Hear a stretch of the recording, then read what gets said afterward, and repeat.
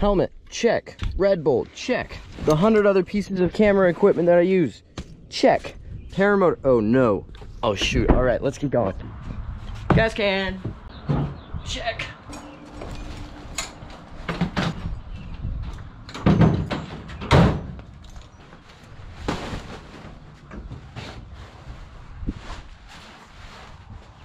Okay guys, I just got everything packed up. It is currently, it's currently 7.30 in the morning. Weather doesn't look great, but I'm still gonna send it. It was projected to be like two miles an hour.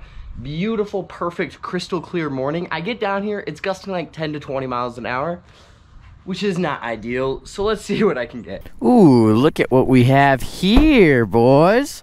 Okay, so a cool thing that we've got is this bag right here. I have it full of foam so it can carry this stick, but this bag can fit a ton of freaking stuff in it. As you can see, boom. I've got these in stock. If you own a flat top and want one, let me know.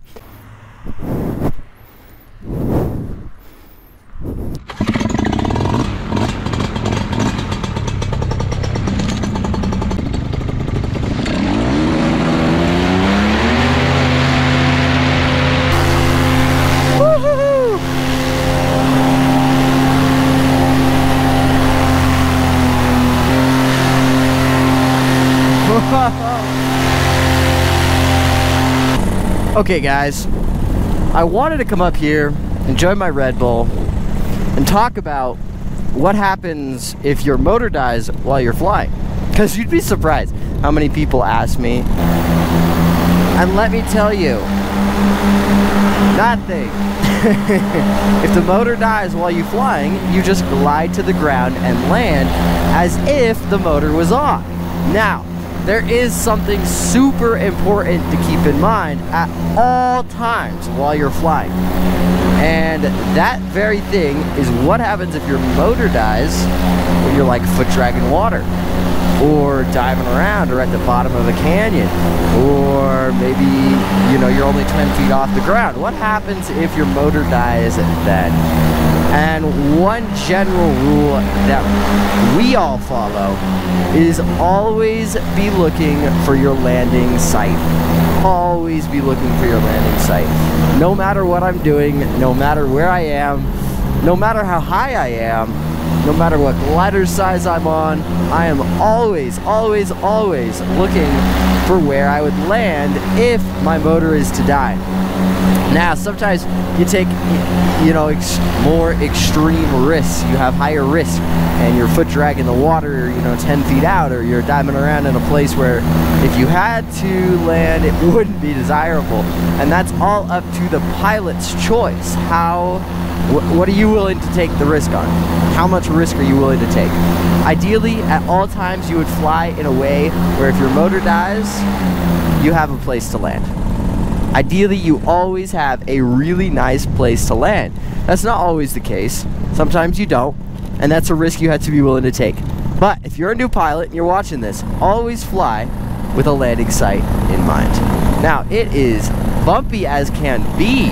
I knew it was going to be a little wild, but I did not expect it to be this wild.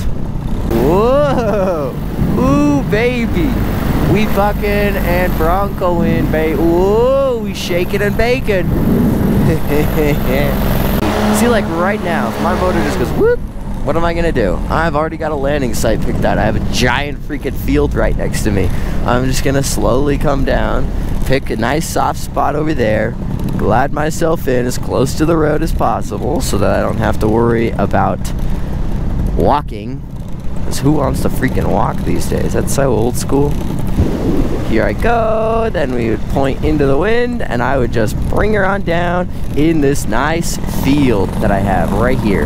So see, that's what you do. If you're flying, always fly with a landing spot in mind. I've got a big one. But let's let's change up the situation, right? Let's go fly like we're diving around over here.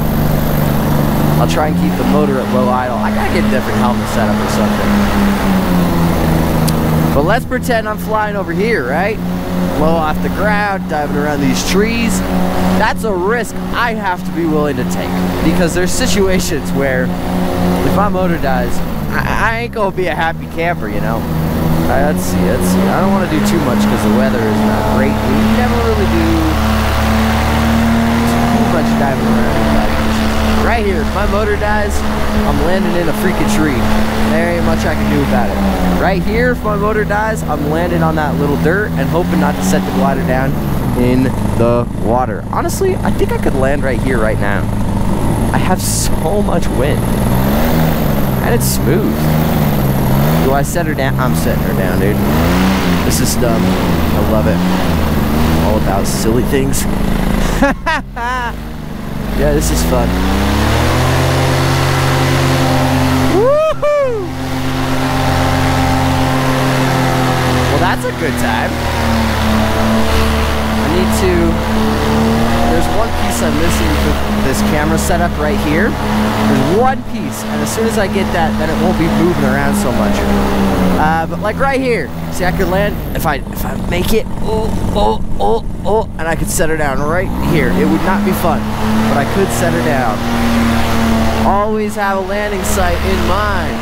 Now, oftentimes when we're diving around, you know, not when I dive this way, because there isn't much room for me to go. I'd have to land in that shallow water. But if I dive this way, usually I have enough energy, I could carry it over and set her down. Oh, hey, construction workers, what's good, broskies? Dude, I literally landed on a freaking... I landed on a little tiny sandbar on Utah Lake. What a freaking cool thing to do. What a freaking cool thing to do.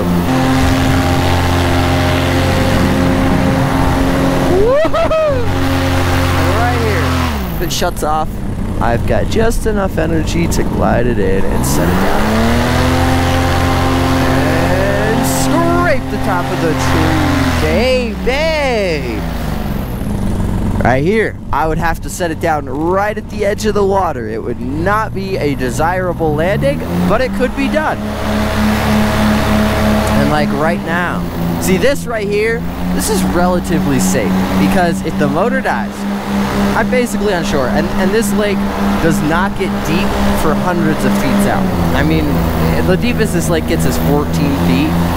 But that being said, if I was flying out here, just like cruising around out here, this is stupid. This is stupid because I don't know exactly how deep it is below me. The risk of a motor out is there. If I go down right here, I might go onto my face. I've got a quick release harness. I'll get out in six seconds, but still, it's dumb. Now, like right here, where I'm not that far away from shore, it's less dumb. Over here, where I'm super close to shore, like, this isn't really dumb. I could set her down right here. If you guys watch me, like, foot drag water or Dell foot drag water, anyone that's done experience foot drag water, it's always right on the edge of the shoreline. Because that's where it is safer. Ooh, ooh. We get, ooh, we get rock, baby. Oh, shoot, little thermal. Diving it around. Oh, I love clipping the top of trees.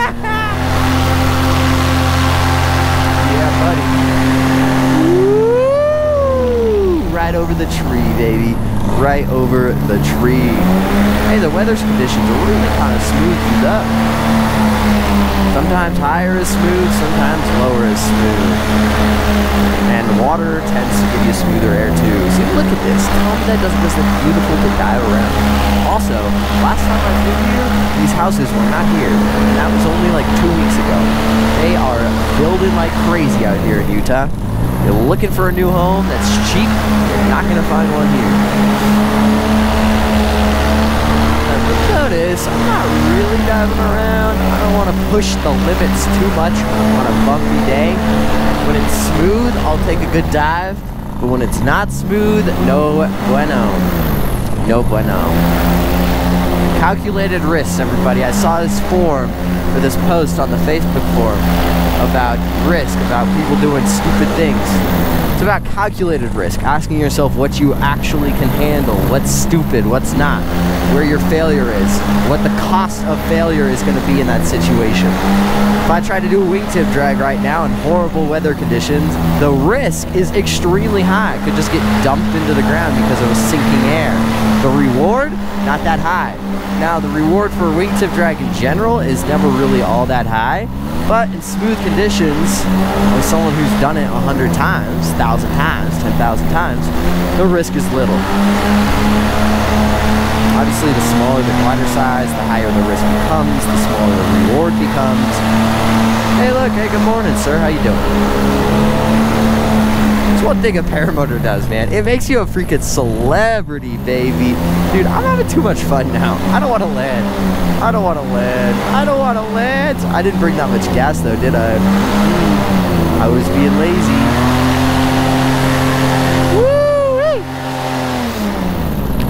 Oh, we diving. Oh, shnikey. Oh, shnikey. Oh, we having a good time.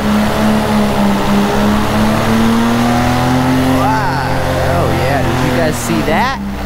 Y'all see that sinking air right there? That was a good time. Well, do I send it, boys? Do I drink the Red Bull? Everybody with a flat top, watch this. Move, look. Oh, I can see my gas tank. I think this is this is smooth enough. I'm gonna crack it open, boys. Oh, baby. Oh, baby. Cold one for the boys. Am I right? Thank you, thank you. Oh, whoa. We rocking around like a Christmas tree. Oh, oh, oh. oh, man. Sponsor me, Red Bull.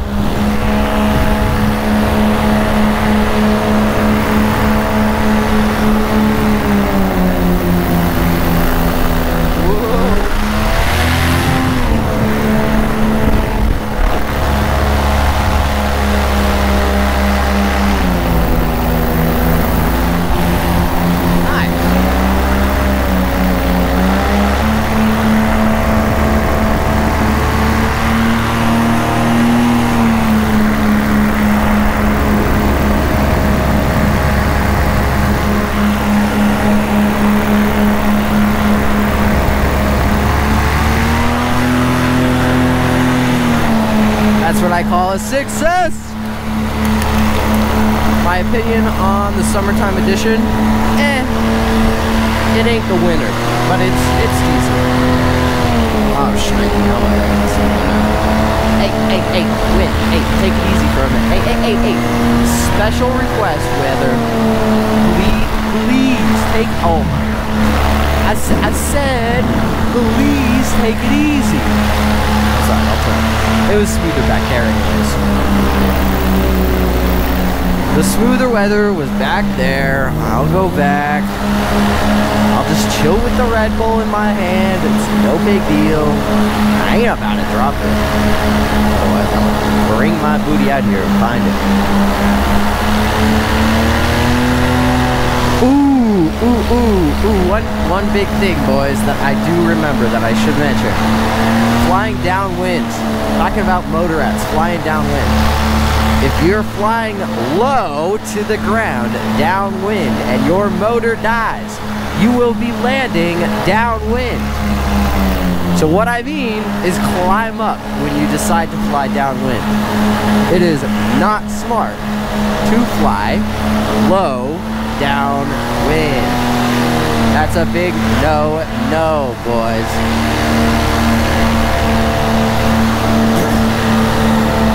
It's a calculated risk you have to ask yourself if you're willing to take.